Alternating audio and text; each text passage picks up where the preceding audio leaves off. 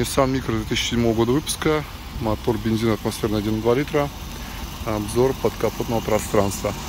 Телевизор родной. Фары родные заводские. Вот даты. Можете посмотреть. Вот справа. Все видно, да? Смотрим дальше. Болты не крутились. Крыло оригинал, завод. Капот не снимался. Вин номер читается идеально.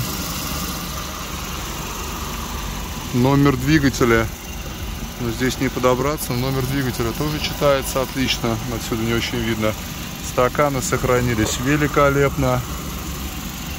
Здесь болты тоже не крутились, не снимались. Крылья завод Nissan, оригинал, капот не снимался. Автомобиль, повторюсь, весь в родной заводской краске. Мотор без подтеков. Вот он, грязный, пыльный, не мыли, не намывали. Что еще? Так что Приезжайте, приобретайте.